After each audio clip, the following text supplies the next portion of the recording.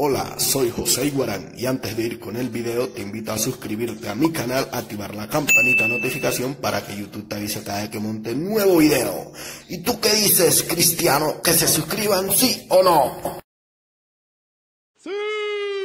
Bueno, bueno amigos de YouTube, nos encontramos un nuevo video para el canal parceros y como pueden ver el título del vídeo, no sé qué título lo voy a poner en realidad La verdad sobre las medias en Dreamly Soccer 2021, ¿vale?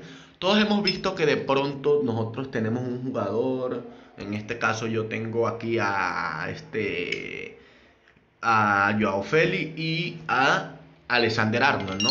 Bueno, este, muchos dicen que ya subieron de media. Alexander Arnold le subieron un punto de media, pero a muchos de nosotros todavía nos sigue apareciendo con su media original, como también es Joao Félix, nos aparece en 78.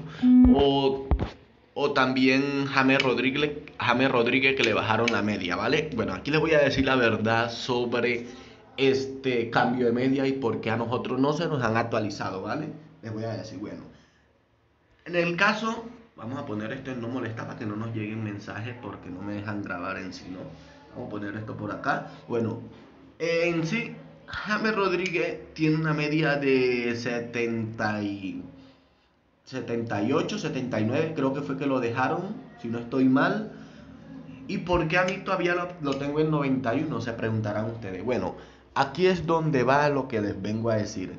Lo que pasa es que el jugador en sí sí tiene 78 de media más el potencial obviamente que ya le metí sería un, 88 sí un 88 de media vale y por qué a mí me sigue apareciendo en, eso porque simplemente es un hueco que hay ahí o sea el jugador en sí tiene el mismo potencial porque he notado que el potencial ha bajado. En cambio el potencial de Joao Félix a pesar de que tiene media 78, he notado mejora en velocidad, en disparo y bueno, en control de balón y todo lo demás, ¿no?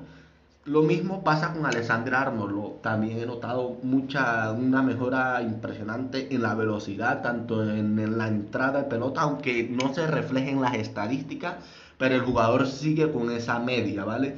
Puede que, que no te aparezca la media original del jugador, pero, pero sí tiene en sí el potencial metido porque el juego lo registra con ese potencial, pero a nuestra plantilla todavía parece así.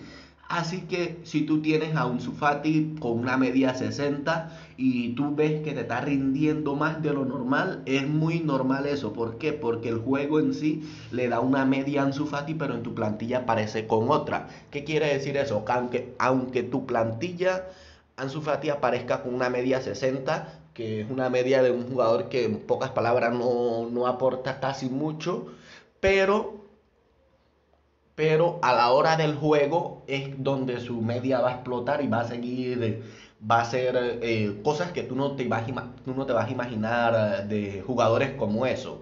Si me doy a entender, ¿no? Porque no sé si, porque hasta yo mismo me enredé ahí en lo que dije. Vamos de nuevo a ver si, si me logran entender en sí, parceros supongamos lo mismo, vamos a poner, supongamos Messi, ¿no? Messi tiene una media de 89, pero vamos a suponer que a Messi se la subieron a una media de 100, solamente es una suposición, ¿no? Para poderles explicar, para que ustedes me entiendan. Messi tiene una media de 99 en tu plantilla, pero a, la hora de ir al partido su media va a ser de 90. Obviamente no te va a aparecer en el stat de la media, pero sí lo vas a sentir a la hora de jugar, a la hora de disparar al arco, de tocar un pase, de entrar. Con diferentes jugadores pasa esto, ¿vale? Así que en sí no vendas al jugador para comprarlos para que tenga una media más alta. La media simplemente es el número que aparece en sí, pero el potencial del jugador sigue siendo el potencial que el juego le pone, ¿vale? O sea, la media va a parecer inferior al potencial que él tiene en, realidad, si tú lo tienes en tu plantilla, obviamente, ¿no? Así que no vendas a los jugadores que tienes con poca media y que tú sabes que ya subieron de media. O sea, no vendas a esos jugadores que, tienen una media baja en tu, en tu equipo, pero tú sabes de que esos jugadores que tienen poca media ya la media en el juego está actualizada y tiene mucho más potencial. O sea, te va a rendir mucho mejor con poca media. Así que espero que me hayan entendido sobre la verdad de las medias en el Dreamy Soccer 2021, parcero. Nos vemos en el próximo video. Posiblemente eh, habrán dos videos el día de hoy para este y otro video más relacionado con el online, ¿vale? Así que nada, nos vemos en el próximo video y vamos con los saludos a los mejores cuatro suscriptores.